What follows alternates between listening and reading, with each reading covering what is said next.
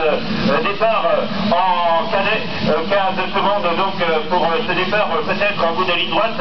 Joris Bourron, Bruno Hausseur, bien sûr, pour ce départ, il y aura sûrement Anthony euh, pour aller peut-être chercher la victoire dans cette, cette manche. Valentin Gratien, le pilote numéro 30, euh, pourquoi pas lui aussi sur ce circuit. euh, le numéro